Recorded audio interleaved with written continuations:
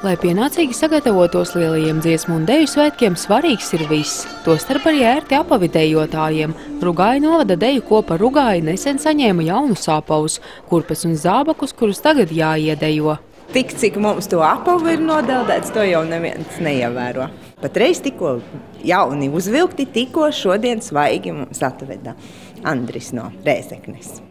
Kurpes, zābaki un pastalas ikdienas 20 darbinieki paralēli saviem ikdienas darbiem Reizeknes uzņēmumā Kristāla Kurpīte gatavo apaus dziesmu un deju svētku dalībniekiem. Uzņēmums pilsētā darbojas jau 16 gadus un jau no pašiem pirmsākumiem ir sadarbojies ar vairākiem mākslinieckajiem kolektīviem, sākumā vietējiem, bet nu jau arī citu reģionu visā Latvijā.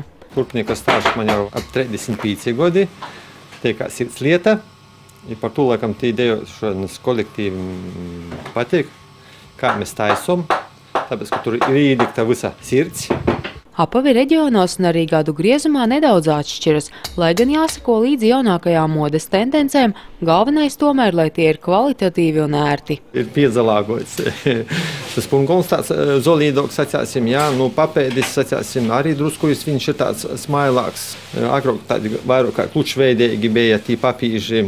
Protams, viņi otri kolektīvi grib pa visu pa vecam, jā, ok, uztaisīsim tā kā bija agrāk. Vienā no uzņēmuma darbnīcām ikdienas darina aptuveni 4-5 pastalu pārus.